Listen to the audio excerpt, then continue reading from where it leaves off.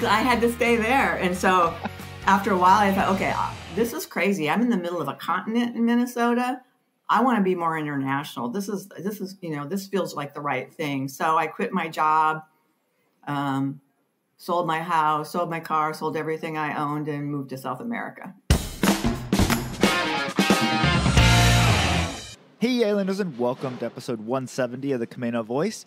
Today I speak with the Executive Director for the Economic Development Council for Island County.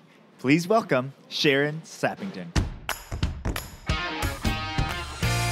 Hi, I'm Brandon Ericson, and you're listening to the Camano Voice podcast, where I interview local business owners, comedians, singers, and more.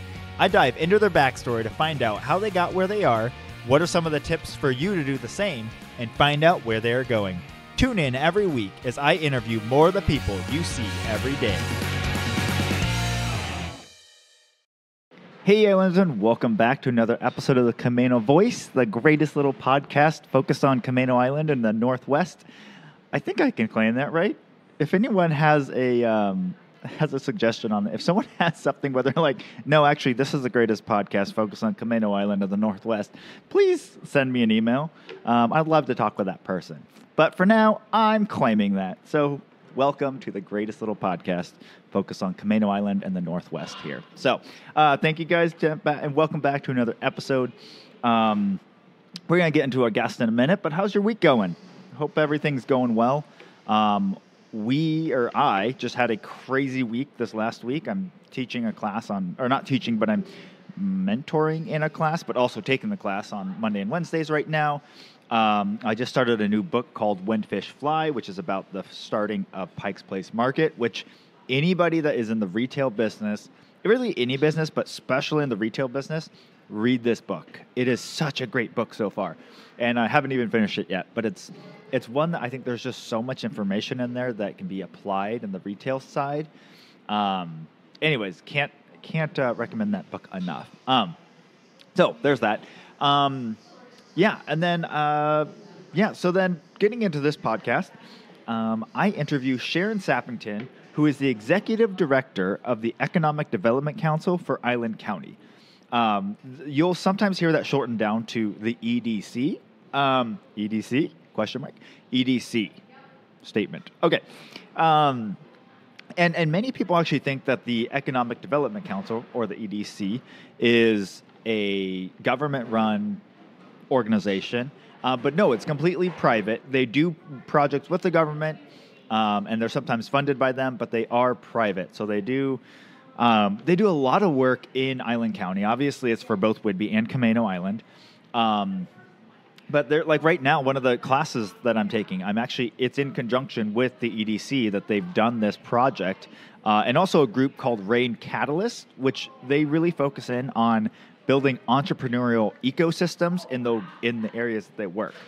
Um, so they're you know like I said, we'll get into some of this into the in the podcast, but um, they the EDC was also really um, monumental in helping during COVID, getting out the words about the grants and the different things like that, uh, and they're always trying to see how they can help build the local business uh, and economy with new ideas. Um, sometimes that means funding, and sometimes that means introduce. You know, how do you find and help new entrepreneurs trying to join into the market? So they do a lot of different things. They're fairly wide ranging.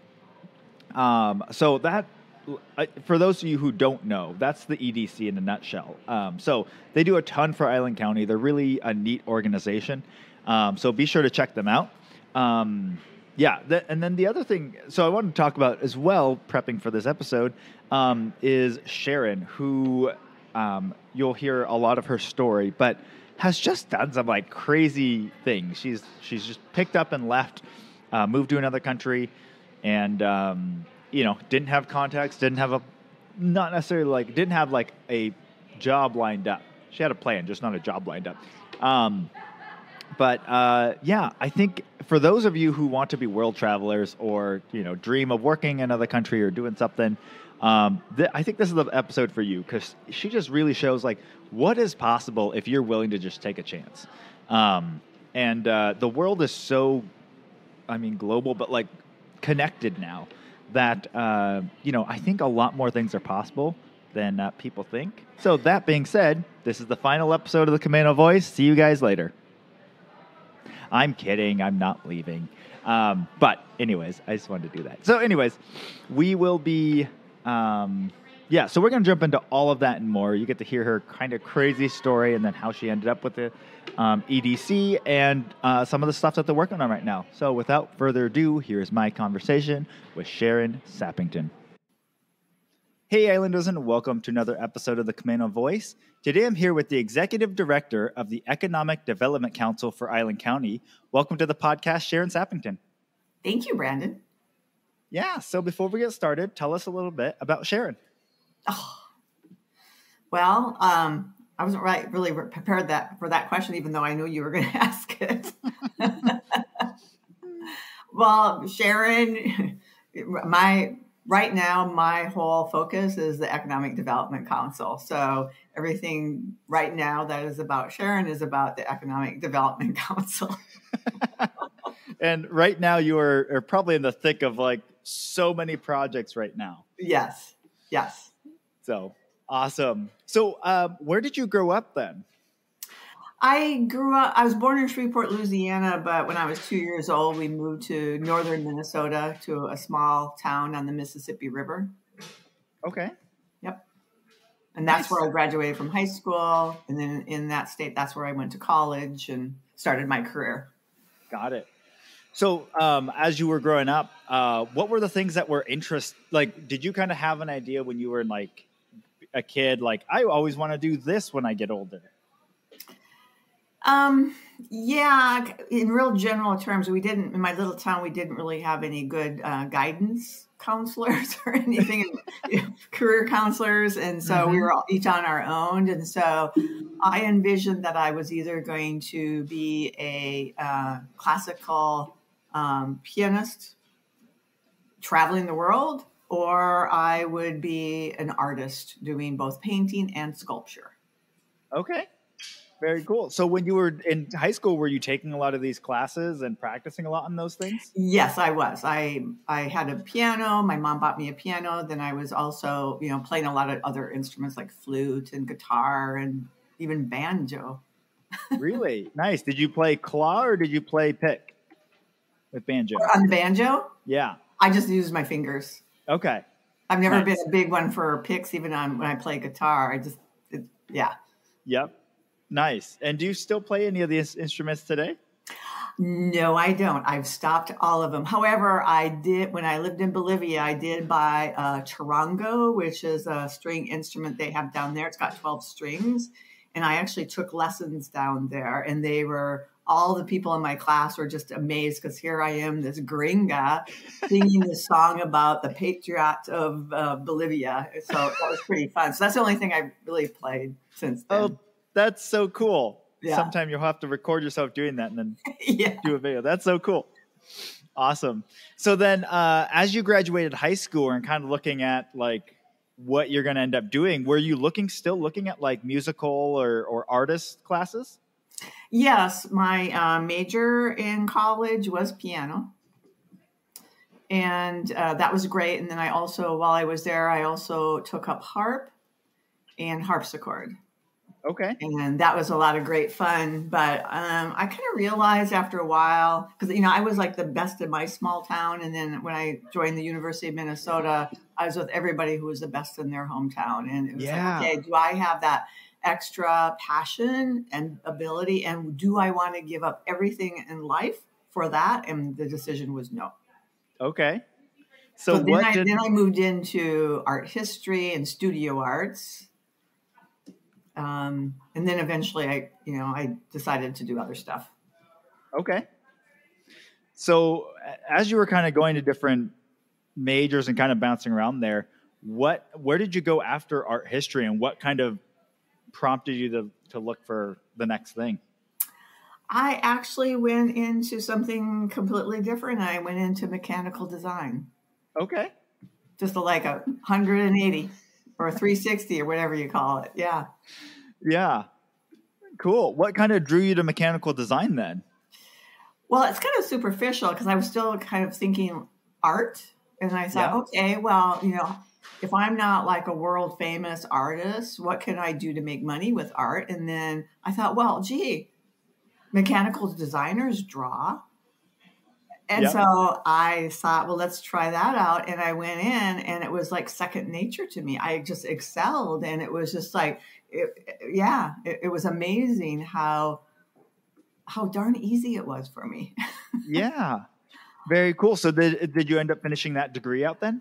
Yeah, well, that wasn't a degree, just mechanical design. Okay. Um, it was a, a, it was a two year program that I like finished like in six months or something. So I did it really short, fast. Yeah. And then I actually went out, and then I was a mechanical designer for many years of my first part of my um, my career. Okay. Nice. So where did that lead you then? When you were as you were leaving college and, and starting the workforce, where did you end up starting off at? Well, I had made the decision that I wanted to be really well, a really well-rounded mechanical designer. So I got my first gig with a company just so I could have a one year under my belt. And then after that, I decided I wanted to put myself in a lot of different situations so I could learn from the best and then have experience in different industries. So I joined an organization called, I don't remember what it was, but what it really was was mental rental. Is that what we called it in the industry? And so okay. i would be rented out to companies that needed some um, design projects done. And okay. so i would always grab up like the one or two week projects while a lot of my counterparts wanted like one year projects. I wanted those short ones. I could get into a company i could get into an industry learn and then go to the next one and so that yeah. was really, really fulfilling. I, I love that. But then eventually I did, I did land, like each one would offer me the job, but I did land uh, one gig and it was like, it was like a three month gig. I was like, oh, this is way too long. But I went into it and then they offered me the job and I thought about it and I took it. And that's where I spent many years of my career was with a very large multinational corporation. Okay. Very cool. What were some of the cool projects you got to do during that time period? Well, consumers don't really know much about these projects. This company, uh, it, it, was a like I said, a large multinational corporation. I was in the corporate headquarters in Minneapolis. Uh, we had manufacturing around the world and sales around the world, and they um, they manufacture and sell precision precision measurement instrumentation for the process industry. Okay and so we were and i when i joined it was they were just at the time of doing a whole bunch of new product design which was for a mechanical designer was great. Um, and so we were working on things like uh, vortex meters to measure the flow based on a vortex formula. We were uh, uh, we did an i to p a current to pressure converter measurement. Wow. And yeah, it was it was really it was really great fun. And these products are currently all over the world in refineries. We did a lot for power uh, power plants, um, paper sewage, chemical. I mean, everything that you can think of that go needs to be processed. That's uh, needs precision instrumentation. Yeah. That's really cool. My my background is mechanical engineering, and so oh, wonderful. Oh, um, we could, we could talk. when I started out though in the engineering field, well, I, I first got like a, a, temp position as a draftman. Um, but when I started at the company I ended up working with for a long time, um, or for a few years, uh, I started in the metrology department. So yeah. I was working with precision, uh, but laser measuring. So like yeah. measuring a giant tool but down to the like hundredth of an inch or whatever. Yeah. Yeah, we had to do we had some um, projects that we had to do laser. For example, we'd have to measure we would we would have to come up with a solution to how to measure something in one of these big tanks, you know, like yep. you see out in these tank fields. But you can't just say, okay, well, I can't tell, you know, it only goes up, it goes up to this level. So that's how much is in it because it depends on the altitude. It depends on how much the tank bulges um, how, as it fills up. It depends on the temperature, and then sometimes there's foam on top. So we were using layer laser, and I mean it was just real, really fun, fun stuff. Yeah. No, I think it's. Uh, I thought it was always fascinating working uh, in that industry. Just yeah. the the projects and stuff that you come up with, and sometimes um, some of the fun things you do. It's things that when you talk to people in the real world, they're like, why was that exciting? You're like, well, because we had to problem solve through this piece and you had to get through this and then then this happened. yes, exactly. Exactly. Uh-huh. Yeah. So that's awesome. Yeah, I I used to, you know, there was other aspects I didn't enjoy as much. Like I didn't really want to dive really deep into the like once I got into the design team, I started working as a stress analyst. And I started going deeper and deeper into like finite element analysis and some of that Oh, nice. really deep Yeah, we- stress stuff. Yeah, we did that when we, we bought our CAD system. We had uh, the finite uh, element analysis in that. Yeah. And and Yeah. for the listeners who maybe don't live in the world or have worked in that world, that's a lot of times what that is is you're taking a 3D model. Um, so the CAD systems you build like a 3D model in, and then you create what's called a mesh, which is basically breaking down that complex model into a simplified equation over the course of the entire surface. And then you're able to actually analyze that and get like where's it going to break or where's the stress points going to be. And, um, Yeah. you know, so it's it's it's pretty cool when you're actually doing it, but it gets very very like detailed and like there's people that spend their entire you know 40 year careers going deeper into it, and Yeah. it was something I enjoyed people more than I enjoyed the the computer side. So that's really cool though. I, I love that as a background. Yeah.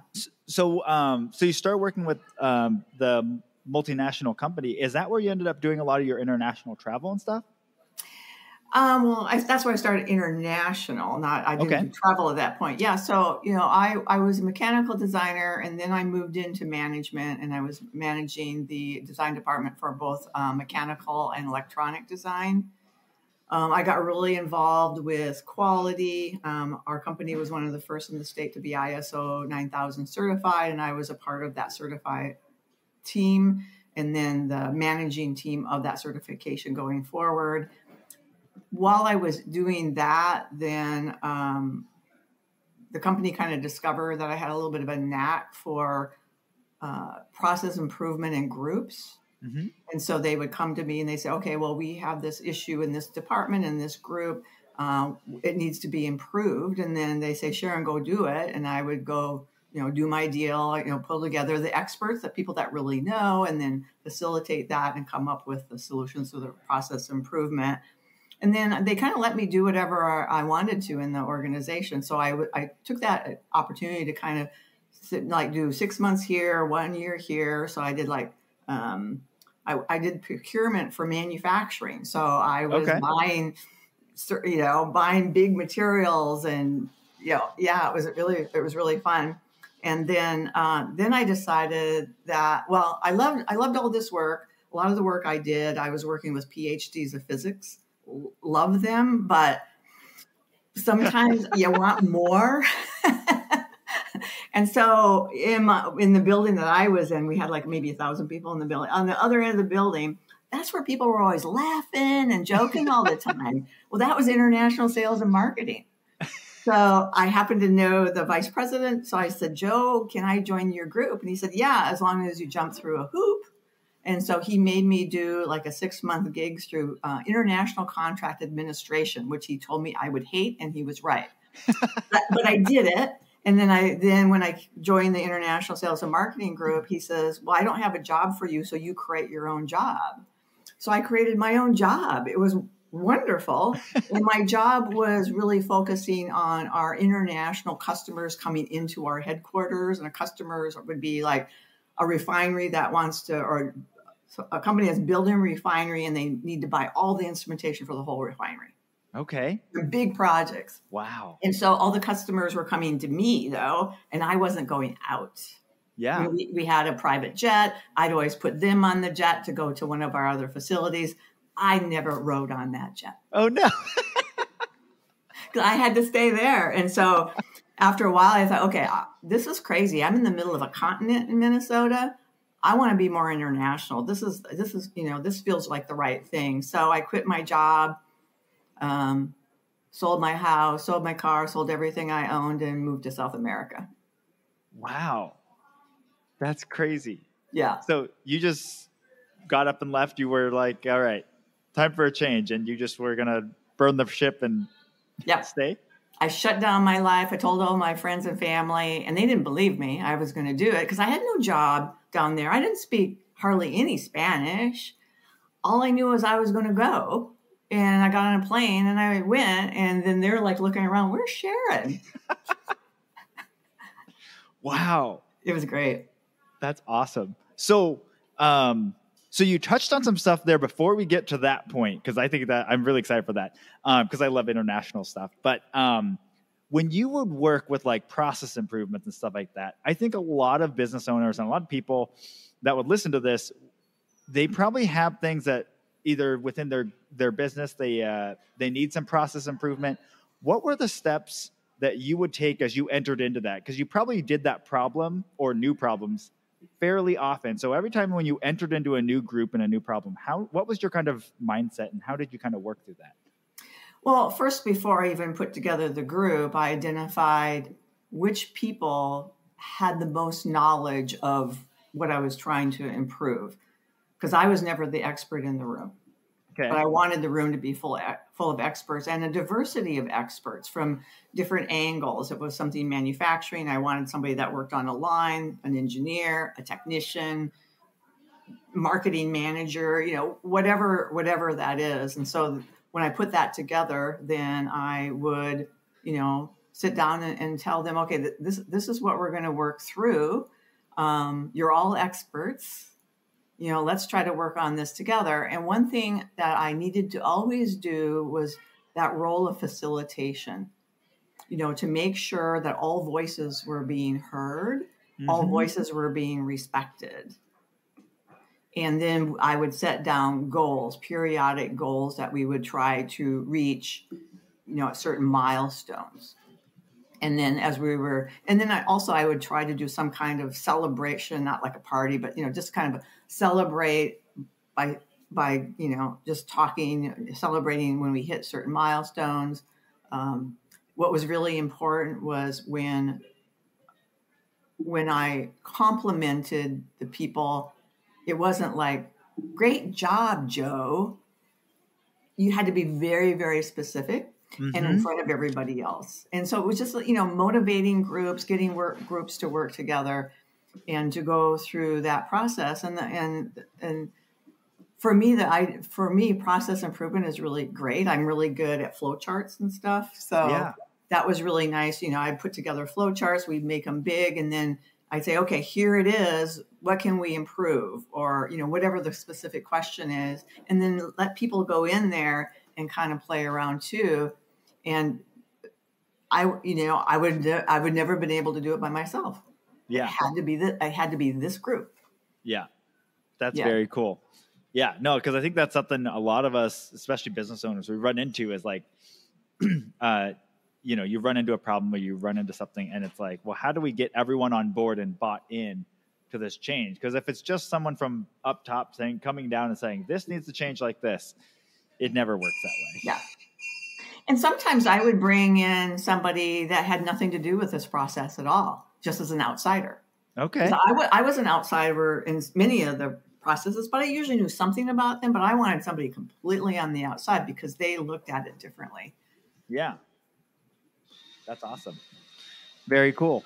So going back to Bolivia now. So you sold everything, you get on a plane, you land in Bolivia. What no, actually, next? Uh, first I went to Chile. Oh, Chile. Okay. Yeah. Awesome.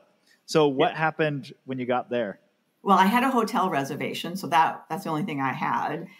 So I made my way to my hotel and nobody in my hotel spoke English and my Spanish was, you know, I could talk about the weather.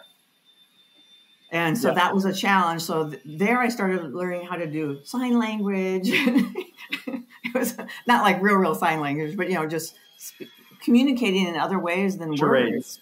Yeah. And so, yeah, I just, you know, I had to, um, I just kind of got my bearings and um, I asked the hotel for a taxi driver I could trust. And then I hired that taxi driver to take me places. And so my goal was first, I joined a Spanish class so I could learn some Spanish but then it was really about networking because I went down without even knowing what industry I was going to look at because I knew the work I was doing in Minnesota did not exist there. So then Yeah. it was really a matter of networking. And so I would, I networked with um, presidents and CEOs of some major corporations so I could get a sense of what industries are down there, what their hiring practices were. Um, yeah. And so that, that really informed me a lot about which direction I really wanted to lo- to focus in, in finding a job. Yeah. And how did you how did you meet those people? Because I always think like when I'm thinking like being dropped down in the middle of nowhere, um, like where do you start? How do you start getting to know those people and finding out where they are?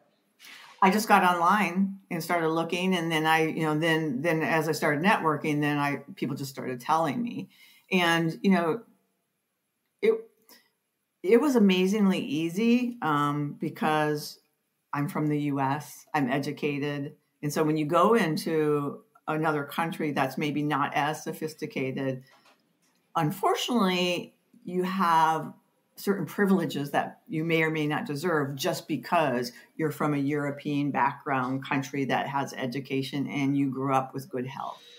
Yep. So, uh, so I was always considered better than, um, and so when I would call up a business, um, they have their gatekeepers, their secretaries, and I'd have to get through them.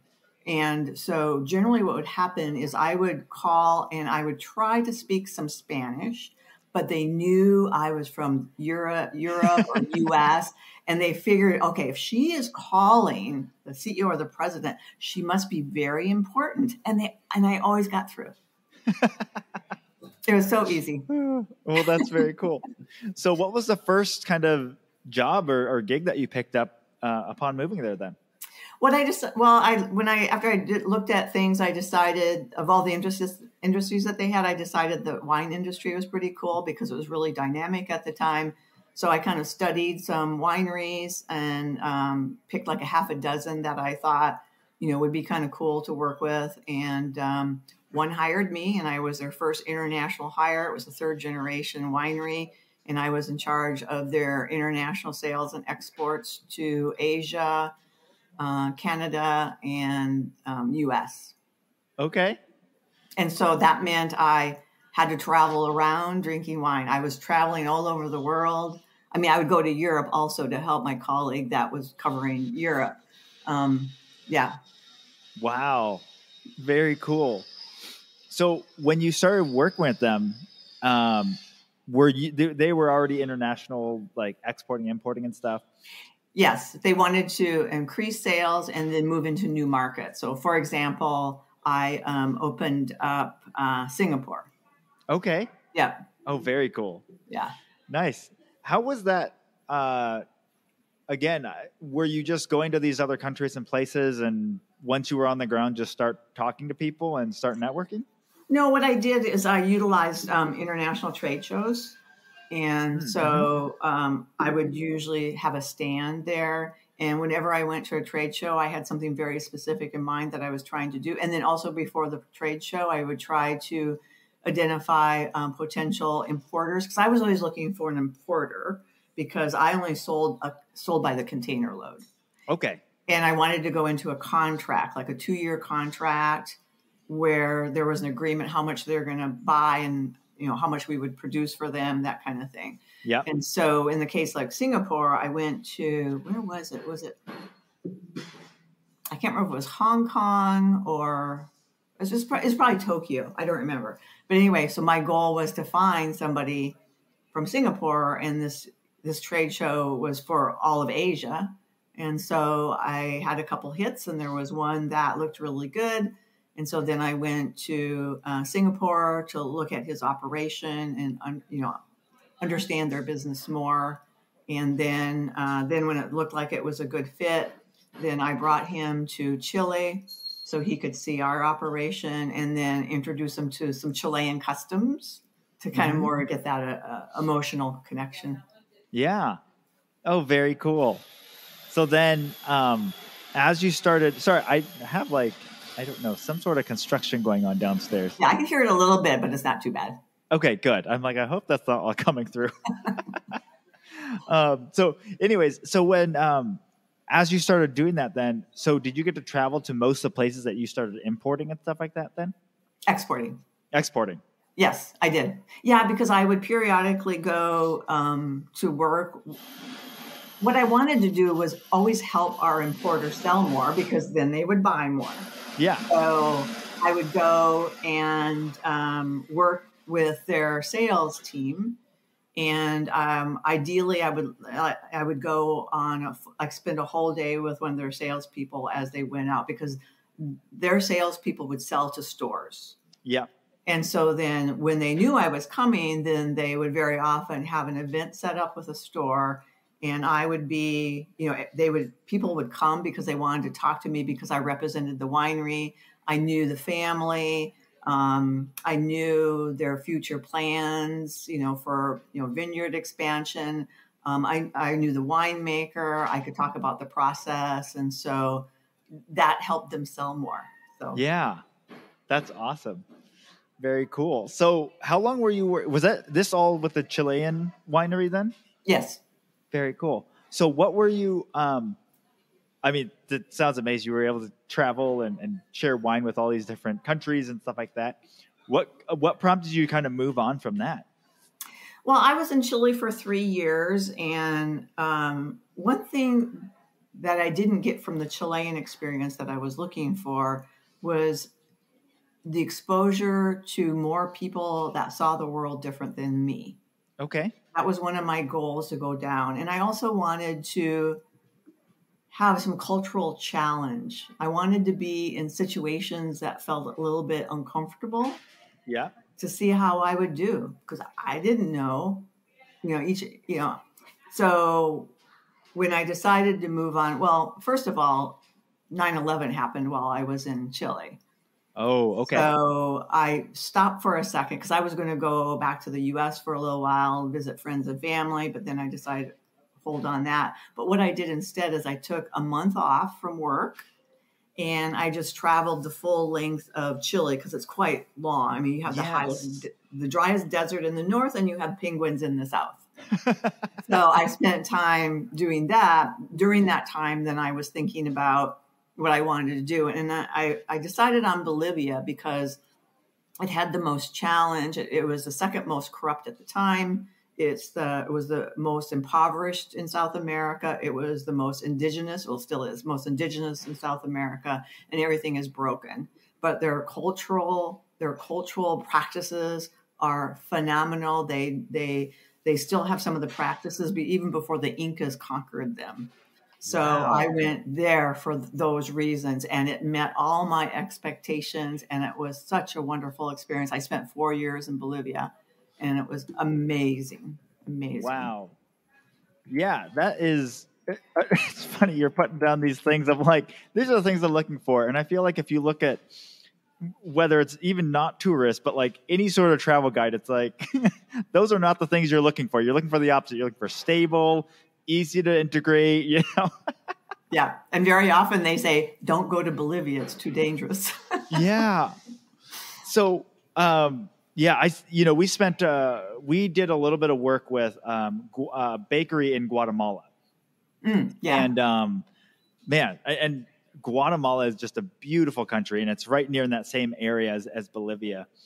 Um, but like Guatemala goes through these phases where like it's the you know great country to just go visit and stay there, and then it goes through phases where they they'll tell you like don't don't go visit right now. Yeah, yeah.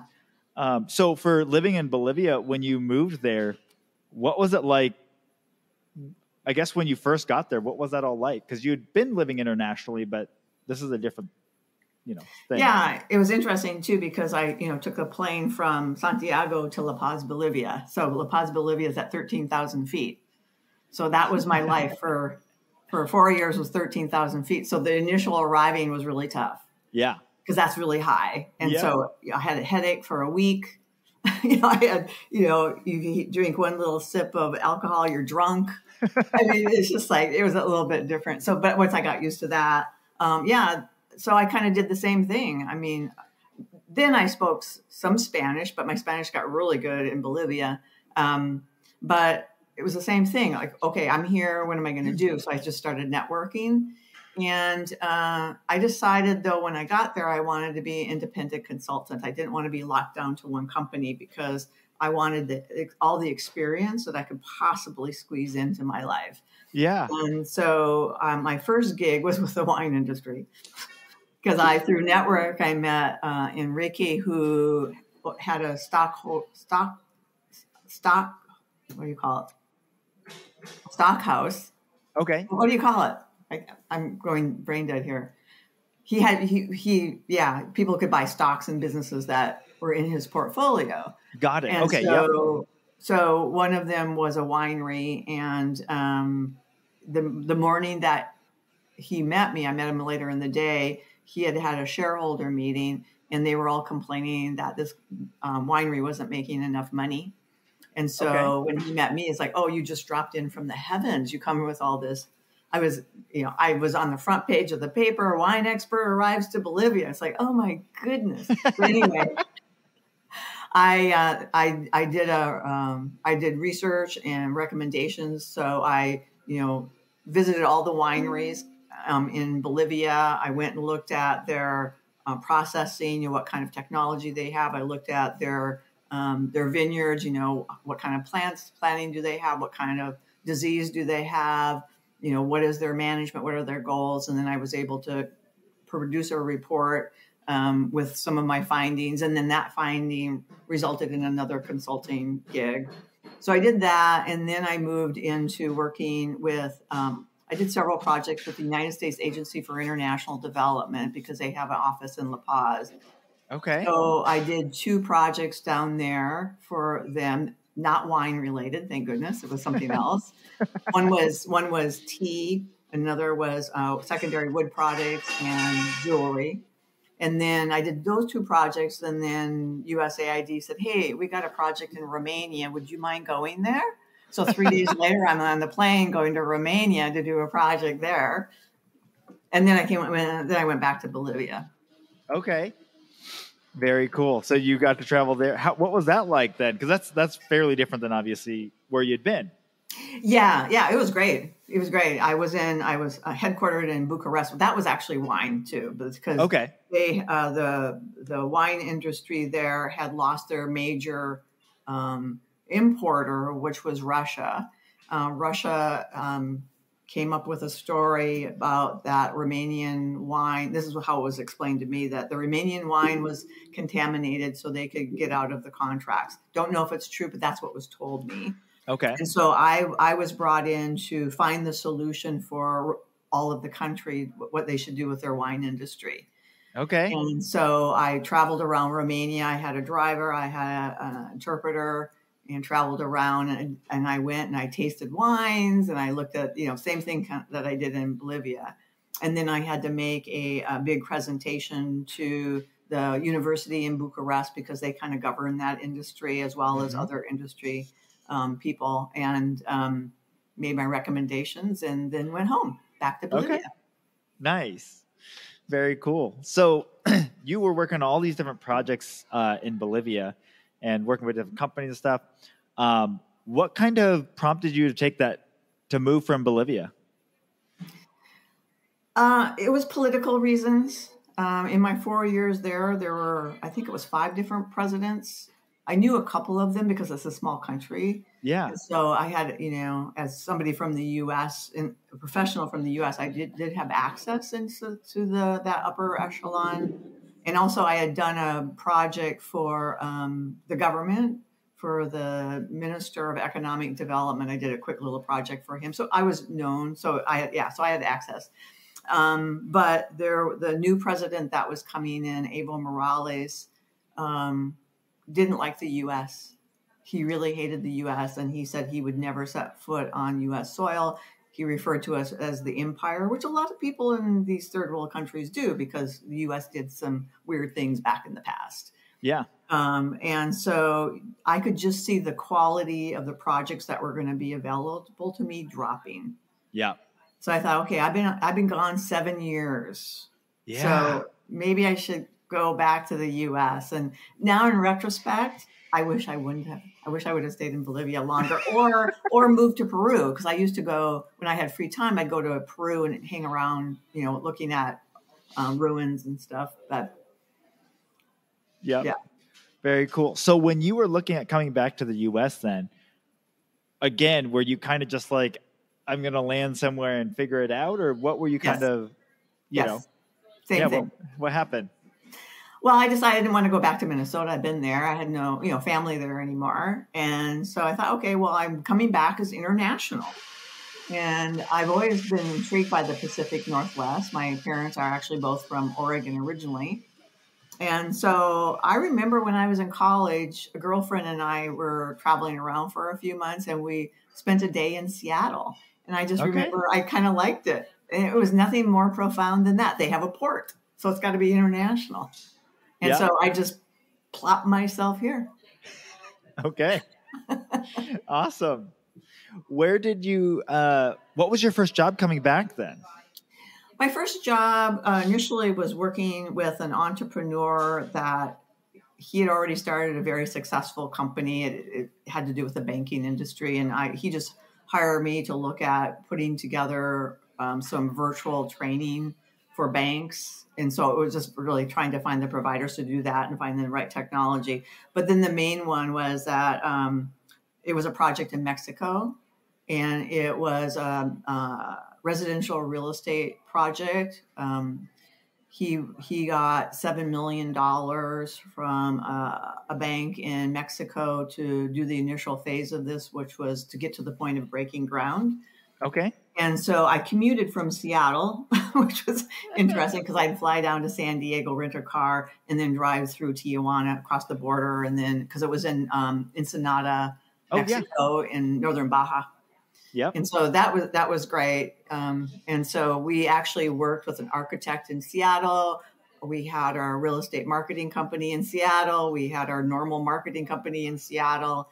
And so yeah that was a really great project and i got to use i was like his wingman in a way. So he looked to me to use all my different types of skills that i have and also he wanted me to always poke holes in his thinking.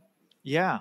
and so it was it was like i was just in hog heaven. It was really a, a won- wonderful project. But when we got to the point that we were getting ready to break ground it was 2008 Oh my word. and so all our fine all the all the financial institutions from around the world that had been courting us for our next round of funding all dried up yeah. because they said we can't do anything real estate so we had to walk Oh. Wow. yeah Okay. So where did that lead you from there? Um, then I worked on another project with the same entrepreneur, and we um, launched a business in Southern California for um, energy efficiency of residential homes, Okay. which was kind of cool. Nice.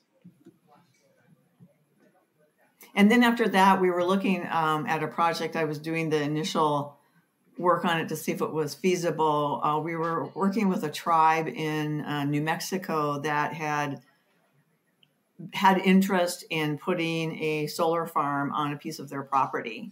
Okay. And so I looked, and there there was a cable going right through the the corner of it, so we we would have power from the solar farm to be able to go to the energy company. Anyway, we worked on that, and then ultimately we decided to step down from that because there was just so much upfront money required to do that that we decided no, let's let's not do this one. Okay. Nice. And then I then I got into other things outside of that entrepreneur. Got it. Okay. So then how did you get um so during this time you were living in Seattle then still, right? yes, yes. Okay. How did you end up getting because you're now for our listeners who don't know, uh, you're now based out of Whidbey Island. How did you get connected up there? Well, I I one the last project I had before I started with the EDC was with the Washington State University Small Business Development Center, Okay. And I would I was with them for about five years, and I was um, I was an international trade advisor, so I was working with businesses in Western Washington that wanted to either start exporting their products or improve their processes or open new markets or things like that. And so that was I, I really liked that job a lot.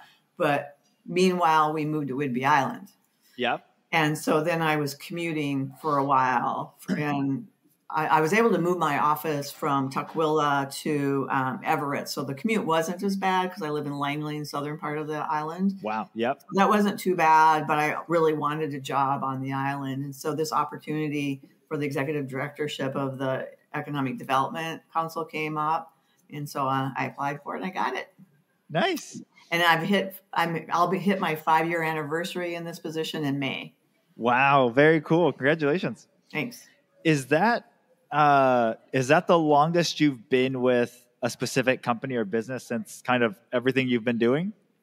Since back in, from Minnesota, yeah. Okay. Yeah, because that wow. that company I was with for many many years. So yeah. Okay. Cool. How how does that uh, you know how does that feel looking back? I always find memories to me always feel like almost like dreams when I'm like, oh, I can't believe I actually like lived in different spots or did this. How is it for you looking back right now? I I kind of I miss pieces of it for sure. And I often think about, gee, maybe I should go back and do that again. But then on the other hand, it's like, well, no, there's just so many things that you can do. Yeah. You know, why repeat something? Yeah. But yeah, I, I think back in my whole career very fondly. I mean, I had lots of challenges living in a third world country for sure. Yeah. Um, but I survived it. And I just, you know, I learned so much. I had such wonderful experiences, both in my work and personally. So I, I just think back real fondly of everything that's come to, up to this point. Yeah. Very cool. Yeah. So then jumping into the, uh, the EDC, the Economic Development Council, um, what was your first kind of get project that you started on when you joined on with them? Well, it was interesting because when I joined, the the EDC had kind of fallen down a bit.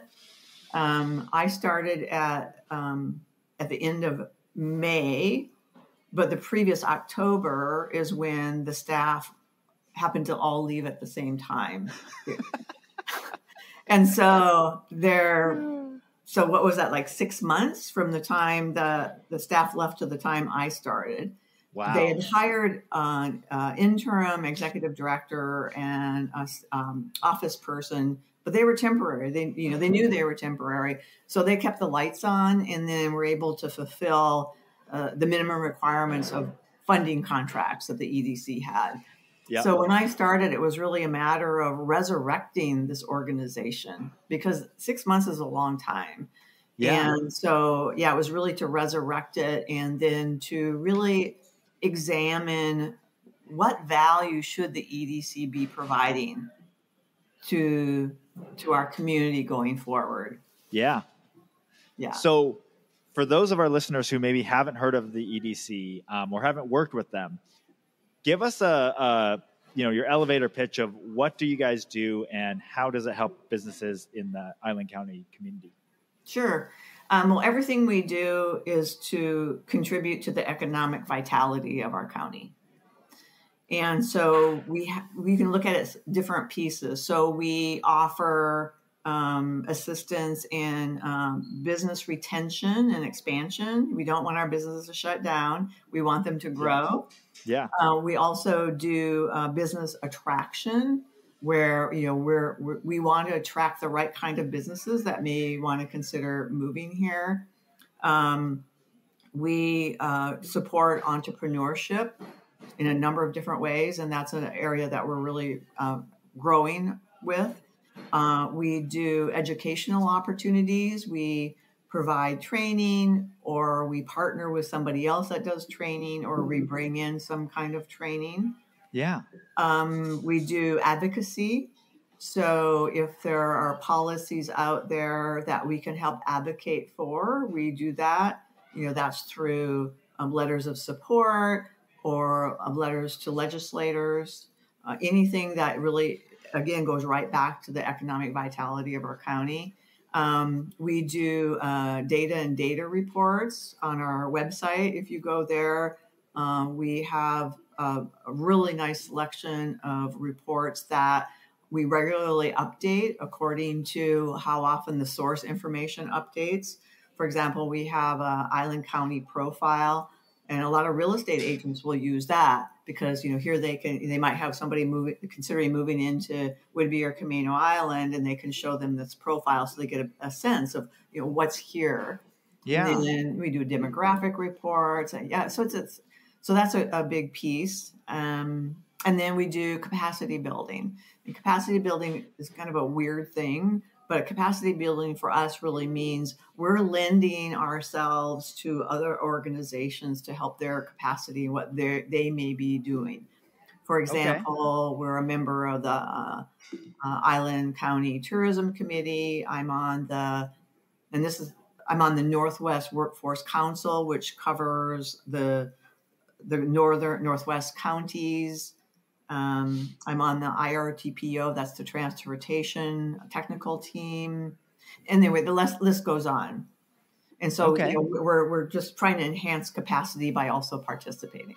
Yeah, very cool. So, one of the things uh, we've had little interactions and stuff like that. But what's really brought us to see each other on a very regular basis at this point uh, is a new project that you've launched, um, and you're we're working with a group called Rain Catalyst. Um, but before we get to them, what came? How did you? How did it come about that you were actually able to get this grant? Because right now there's there's this grant, educational grant and stuff going on right now um, that EDC is a huge part of and, and organizing in this. How did that all come about?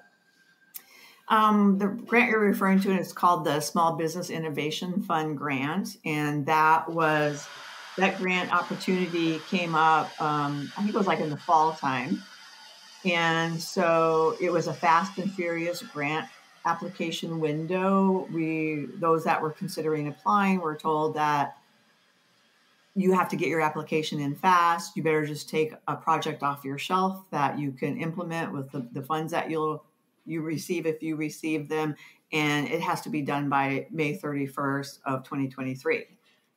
So, um, so we applied for and we got we won uh, 1.16 million dollar grant.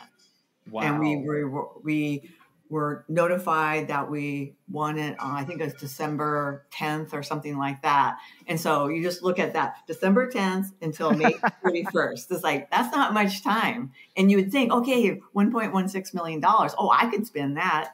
Nah, it's, it's federal money. This yep. is it's coming through the Washington Department of Commerce, but it's really um, the ARPA funds from the feds. And so everything that we do, we have to do as a it's a federal grant, really, even though it's from the Washington Department of Commerce. Yeah. So then, um, you know, you get the call and they say, "Yes, you you got the grant." What was your next step? Well, actually, we'll back up a little bit. When we were applying for the grant, when this opportunity came up, I had already met Caroline Cummings, the CEO of Rain Catalyst. Okay. I met her earlier. I think I met her in the spring on something else. And we were already starting to work together. We're looking at you know what we can do for entrepreneurship program. Because i actually about a year and a half ago i uh, launched the or i did not i the edc launched um, the entrepreneurial ecosystem initiative. And that was to grow a good strong ecosystem for our entrepreneurs in island county and so I already knew Caroline. I mean, we we already became friends, and you know, I mean, we knew we resonated, and so that meant we could work together really well. And so we we had already put together uh, an idea for what we could do in the county before this, and she gave me a proposal. It was a two year program. We couldn't get all the funding for it here in Island County yet, so it was just kind of sitting there. So when this grant opportunity came up, I thought they're saying something off the shelf well, and so I called up Caroline. I said, "There's this grant opportunity. You want to you want to do it with me?" and so we looked at all the components that were in that initial um, proposal, took some of them, modified some, and you know made it work for the requirements of of this grant. And so Rain Catalyst is a true partner in all this. Um, one of their people, um, Jennifer, um, was the one that I worked really closely with to actually write the grant application. Okay. And so if it wasn't for them, I don't think we would have got it, to tell you the truth. They're that yeah. strong of a partner. That's very cool. Yeah. So then, upon getting it then and, and actually being able to roll this out, I, I know that um, so uh, I got to be I'm part of the project in a project coordinator sense, uh, and I, I'm working with the Island County or the Camano Island side, um, but and that you were going through applications like we were interviewing in January, so then it was like flip it over, and we had to launch the first class by February. I don't know, beginning of February. yeah. Oh, we yeah. This is a this is very fast moving. yeah, yeah, like yeah. Um, for those of you that don't know the the how this is set up, um, we needed project coordinators for this to pull all this off. All because the grant is really educational opportunities and then grants to businesses. Mm-hmm. And um, we needed somebody that really knew their their community. So you know, you on Camano, then we have Bristol Carter on Whidbey, and this also we included Skagit in this grant. Yeah, because we wanted it more of a regional uh, effect. Because we, you know, Commerce likes regional, and we like regional, so it just worked that we included Skagit. And so we have Jonathan in uh, Mount Vernon that's covering that uh, in that area. And yeah. so you guys are like on the ground. yes. Yeah. And then the the classes that we've been able to the the first one was the RainCap boot camp, which was really focused in on different types of financing for business, uh, and what's the best way to do that for your type of business, and then also what is going to give you the biggest uh, re, uh, you know return on investment or or ROI. Um, and now we're kind of into this next one, which we're just kicking off, um, but t- t- talk a little bit about the destination creation one that we're we're just jumping into. Yeah, destination creation is interesting. Uh, we're going to have our second session tonight at six o'clock. Um, it meets uh, twice twice a week for four weeks, um, two hours at a shot. Um, this is different than the RainCap Boot Camp. The RainCap Boot Camp was actually designed by Rain. Yep. And um, and so, but this one is we're actually buying licenses um, from the person who developed this program. He spent about 20 years really understanding um, this. It's it's kind of it's a to me it's a kind of a strange title because it's called destination creation. Yep. Um, but it's not it's not like a tourism is where I went when when when they were first talking to me about it. it's really you know trying to make your business a, a destination, not just a business that people walk into because they happen to walk by it, but yeah. they seek you out and you know how to go about that. And I must say, I'm really excited. I mean, we just had our first meeting or the first session on Monday, and I am so super, super impressed by this. I'm just really excited to see how it all unfolds as we yeah. go forward. And then yeah. after this one, then we have another educational one. Um, it's the same as a RainCap Boot Camp, but 100% in Spanish. Yeah. No, I'm excited for that too, to, to be able to do that. And I, I think that's really cool that they, we, you guys planned that from the very beginning yeah. because we do have a large uh, Hispanic community in the Skagit and Island counties. And um, I think that's really cool. Yeah. Um, yeah, I, will definitely add to that on the the destination creation. I had that same thought as like, oh, well, this is mainly for retail businesses and stuff like that. And I know, I think in a lot of ways he's tailored it that way, but I feel like the content just from the first episode um, is something that if you're an online retailer or if you're a service business, like you could really benefit from that. So um, obviously, this class has already started and stuff, but um, I definitely would encourage any listeners that think this sounds interesting to to go to the website. I'll put a link in the the show notes, uh, and they have a list of like when upcoming classes are happening. So. Um, yeah, so now you know the the participants in this program, of course, are not paying anything for any of these educational programs. If you pay, if you actually sign up, I think it's like eight hundred dollars or something. Yeah, to do it. Yeah, yeah, but it, I mean, I think it's, I think it would be worth it. And actually, that was really helpful in, in them mentioning that um, because you just realize like the value of that of like you you get to do this class for free, but it's not. and it's not. Um, it's, yeah, we're paying for it through the grant. Yeah, right. um, but it's really cool. I'm really excited to see, especially this the island Skagit County. Um, you know, we're I think Island and Skagit County, the people that live there know how special these counties are, but people that don't aren't from this area they're like, oh, well, you live in Skagit or Island. Is that is well, where's that cl- near to Seattle? So like, you know, you tell people, well, it's an hour north of Seattle, but like the the Island and Skagit County are just very special counties to to visit, to come be a part of and stuff. Yeah. So Yeah. very cool. Well, awesome. What do you see as the future? Uh, now, I know right now we're full on into this project, but what do you see as the future as, of the EDC as you continue to work there and, and improve and stuff? Well, I I, li- I would like to see the EDC continue to add value that they provide. You know, we've done a, a I think a really good job. You know, I have a really great board of directors, and you know, by the way, listeners, we're a private nonprofit. A lot of people think that we work for the government, either the local or, but we're we're a private nonprofit, and we we we collaborate with the government. So. Um, yeah so you know we've done a really good job over you know the last five years of increasing the value that we provide and i want to see that continue um, they, it, today is different than it was before covid my Yeah. counterparts across the the state we're, we all have very regularly regular uh, communications and discussions about you know what should economic development councils be doing now because what Yeah. we're doing now is different and there's still that unknown out there. So we're we're trying to remain agile as we're as we're trying to add value that we provide.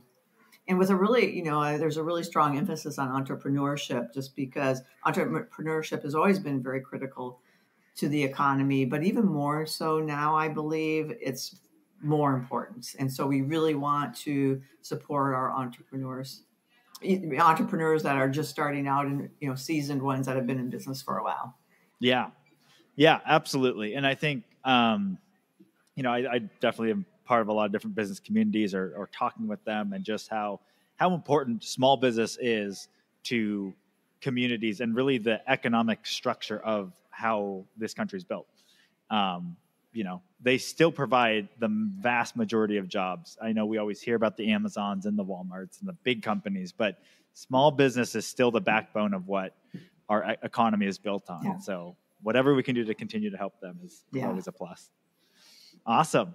Well, I like to end every podcast with some rapid fire questions. all right So the first one is what purchase of $100 or less have you enjoyed the most in the last three months? This sounds kind of silly, but I bought a tea mug that's really big and solid and huge Nice. because with all this this this workload now of you know, doing all these really great grants and stuff, I just need to have some tea time at night where I just put in some relaxing tea and relax, and I can hold this big mug. That's awesome. Yeah, that's always a good investment. Yeah. Um, who is the most influential person outside of your family in your life? You know that I can't. That's a tough one because I have met so many people in my career, my personal life, that are so cool, and each one influences me in a little bit different way. So there's not really one person that's a big, big influence for me. Yeah, nice. Um, okay, this is a fill in the blank question. Okay, I know this is weird, but I've always wanted to blank. be a lawyer. Okay. what what drew you to that uh, that idea? I, I don't know. I mean, in college, I had to. There was a required legal course we had to take, so I took it, and I liked it so much, I took a next one, and it just, I, I just, I really enjoyed it so much. Very cool. You should like double challenge yourself and become a lawyer in another country that you don't speak the language. Then you There have to start do all of it. so that could be your next career jump. Yeah. All right. Um, who is an interesting or fascinating person that I should interview next? Well, I have probably a list I can talk to you about. That would be great. Yeah. I'm always looking for a, a new round of people because, um, yeah, as I talk to different, as I break into new pools and talking with people, I love getting a brand new group of people to, to talk to and interview. Yeah. So, Yeah. Well, let's talk offline. perfect. All right. And lastly, what piece of advice would you give your 20 year old self? I guess I would say to my 21 year self, 20 year old self, um, be uh, flexible and agile in your life decisions. Yeah. Yeah. Well, it sounds like you accomplished a lot of that in in what you did. Yeah. I don't think a lot of people have the courage to do all of the different things that you did. That's so cool. Thank you. All the different things you did. Um, awesome. Well, uh, lastly, uh, where can people find you and find uh, what the EDC is doing and all that stuff? You can go to our website. All you need to do is, uh, I won't give you the website title because it doesn't really fit very well, but it's um, just go to Google EDC Island County and we'll, Okay. we'll come up and you can check it out there. Um, you can reach out to us through the website um, or you can reach out to, to me. You can, All you can probably share my email address if you would like. Okay, perfect. Okay. Awesome. Well, thank you so much for taking the time to uh, to join me on the podcast today. Yes, thank you so much. It was fun. I didn't know what to expect when you asked me to do this, and yeah, it's fun. I thought it was going to be more Well- like work, but it was yeah. Well, good. Well, no, as soon as we like we we talked a couple times on some stuff, and you're like, "Oh yeah, well, when I was in Bolivia, I was doing." I was like, "What?" I was like, "Okay, we definitely have to get you on the podcast because uh, it's just it's so cool." And I'm glad that you're able to bring all of that experience and all that to here in Little Old Island mm-hmm. County. So that's very cool Great, thank you. And I want to hear more about your Guatemalan experience, so we'll talk about that too. for sure. Yeah. All right, and Islanders, I will talk to you on the next one. Well, a big thank you to Sharon Sappington for joining me on the podcast today, and thank you for listening. If you haven't already, be sure to rate, review, and subscribe to our podcast on your favorite podcast platform. It really helps us be found by other Islanders like yourself. Feel free to put in the notes greatest little podcast focused on Camano Island in the Northwest. That'd be awesome, and I'd really appreciate it. Okay, guys, see you next time.